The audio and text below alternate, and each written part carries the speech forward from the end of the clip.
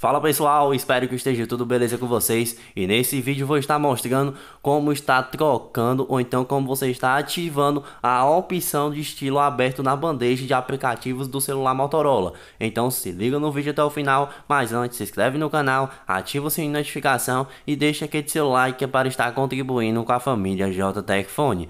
Bom, vou estar pressionando aqui em cima da tela do meu celular, aperta em configurações da tela inicial e em seguida aqui dentro vai ter a opção de estilos da tela inicial. Você seleciona essa opção e vai ter aqui todos bandejas de aplicativos e também aberto. Você seleciona essa configuração de aberto e logo após isso você apenas sai daqui dessas configurações e já vai estar ativado a opção da sua bandeja aqui totalmente aberta dos seus aplicativos na tela inicial do seu celular. É uma configuração muito simples que você está realizando sem dificuldade alguma e no mais eu espero ter ajudado e contribuído com mais essa dica aqui dentro do canal e até a próxima família J Tech Phone.